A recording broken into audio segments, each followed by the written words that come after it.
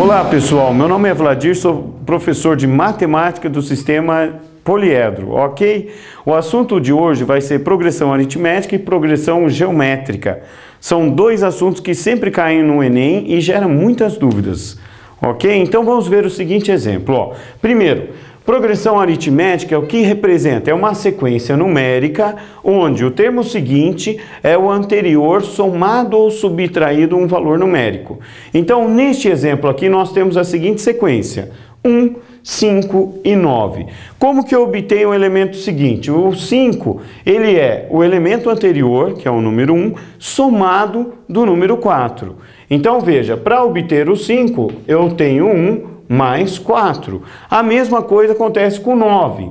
Esse, essa, esse valor numérico é chamado de razão, ele vai repetir na sequência. Então vejam, para obter o número 9, eu somei novamente o número 4. Esse 4 que eu vou somando na sequência é chamado de razão.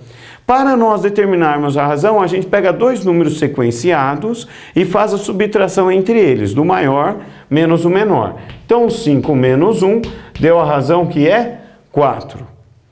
Ótimo! Agora nós temos duas equações importantíssimas numa progressão aritmética. A primeira equação é do termo geral da progressão aritmética. Quais são os elementos dessa equação do termo geral? A n é o que? O valor numérico do enésimo termo que eu quero calcular. A1 é o primeiro termo da minha sequência da PA. N é o número de termos, onde eu vou determinar ah, o enésimo termo. 1 é a unidade, R é a razão. Então vamos identificar o seguinte: para esse exemplo, se eu quiser o terceiro elemento dessa sequência numérica, como eu faço utilizando essa equação? É muito simples. Se eu quero o terceiro elemento, então n vai ser igual a 3. Então nós teremos A3 igual. Primeiro elemento é 1. 1 mais o n é o número de termos, é a posição daquele termo que eu quero calcular. No caso, é o número 3.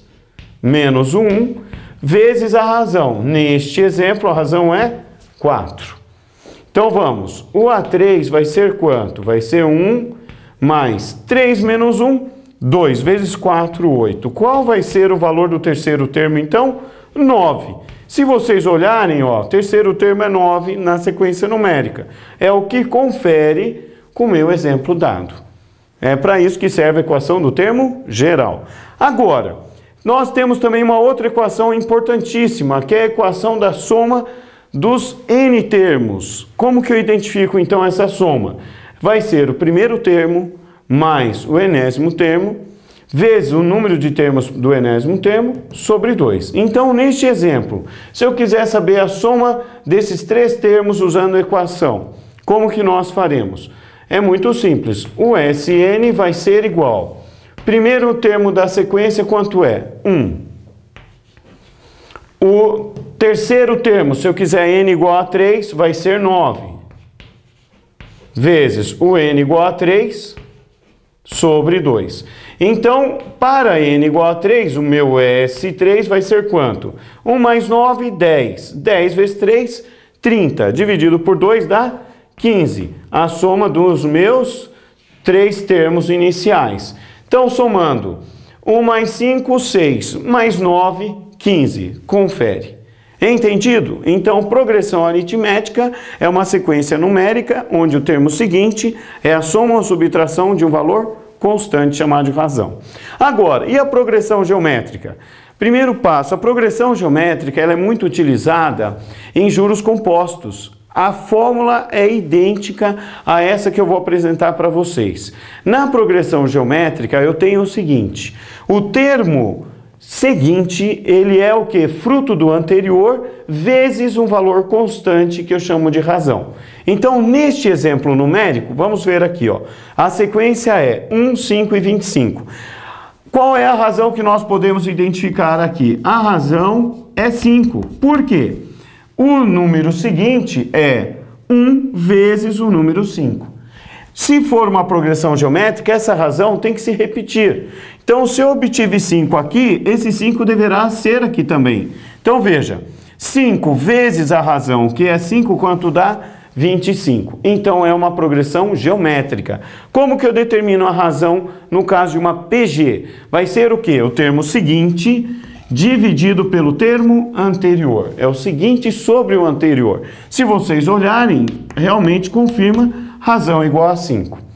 De forma semelhante à progressão aritmética, eu tenho duas equações importantes na PG. É a progressão, é a equação que envolve o termo geral de uma PG, onde a n é o enésimo termo, a 1 é o primeiro termo, Q é a razão da PG e N é a posição do enésimo termo. Vamos confirmar aqui, se eu quiser N igual a 3, o terceiro termo de uma sequência em PG, como que eu faço? Vai ser A3 igual, neste exemplo, quanto é o A1? 1. Vai ser 1 vezes, quanto vale a razão? 5. 5 vezes o N, não é o terceiro termo? Então N é igual a 3, vai ser 3 menos 1. Então, o que, que nós teremos? 1 vezes esse valor numérico vai dar o próprio valor numérico, vai ser 5 elevado, 3 menos 1, 2. 5 elevado ao quadrado, quanto dá isso? 25.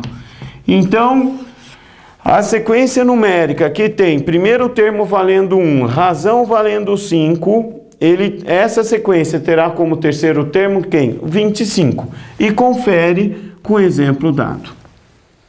Tudo bem? Agora, se eu quiser a soma desses três termos, nós também teremos uma equação de soma de termos para PG, onde a razão, se ela for diferente de 1, vai obedecer essa formulinha aqui. A soma do enésimo termo, dos enésimos termos vai ser igual ao produto entre o primeiro termo vezes a razão elevado à posição daquele enésimo termo menos 1 sobre a razão menos 1. Neste caso, aplicando essa formulinha, vamos só montar e depois dá para conferir. A soma dos três primeiros termos, S3, vai ser igual. Montando, o primeiro termo é o 1, é 1 vezes a razão é 5, elevado a quantos termos? Eu tenho 3, é a posição do terceiro termo, menos 1 sobre a razão, que no caso é 5, menos 1. Fazendo essa continha aqui, o que, que nós teremos? Ó, vai ser 5 ao cubo, 125, menos 1, dá 124. 124 dividido por 4, isso vai dar quanto aqui? Vai dar 31. Certinho. 31, se somarmos os termos, 25 mais 5, 31, 31. Ok, pessoal? Um grande abraço, sucesso para vocês aí. Bons estudos!